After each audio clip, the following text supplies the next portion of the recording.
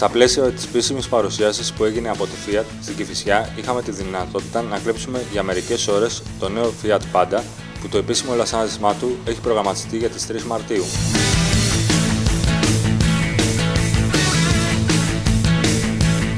Με σεβασμό τόσο στο περιβάλλον όσο και στην οδηγική ευχαρίστηση, σχεδιαστικά διατηρείται η φόρμα με το πεντάπορτο αμάξωμα, όμως είναι σαφής η ύπαρξη περισσότερων καμπυλών και η δημιουργία ενός πολύ πιο σύγχρονου όσο και λειτουργικού συνόλου.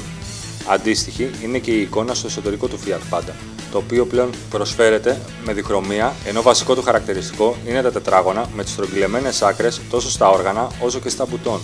Ο επιλογέα διατηρείται ψηλά ώστε να διευκολύνει τις καθημερινές μετακινήσεις μας.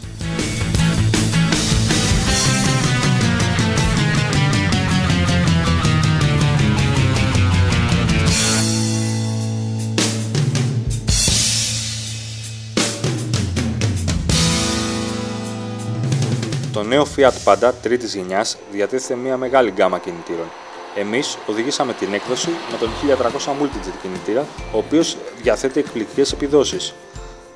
Με 75 ύπους στις 4.000 στροφές και 190 Nm μόλις 1.500 στροφές, έχει κατανάλωση 3,9 λίτρα στα 100 χιλιόμετρα, ενώ διαθέτει έναν σταθερής γεωμετρίας υπερσυμπιεστή με intercooler.